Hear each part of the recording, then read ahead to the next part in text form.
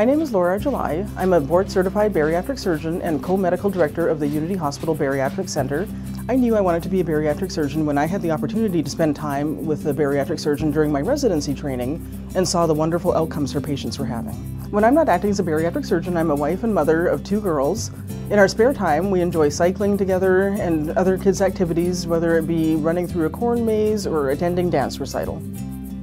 Many of our patients also really enjoy these same activities, but they're really limited by their weight. And that's where I come in. I specialize in general and bariatric surgery, and we can tailor programs to fit each individual patient's needs. It's important to understand each patient's unique situation so that we can help to lead them to the most successful outcomes possible. A part of my job that I really enjoy is performing challenging cases and then seeing our patients in the office literally transform before our eyes. When I consider my greatest success as a bariatric surgeon, it's difficult to choose only one thing. I consider seeing my patients succeed my success also.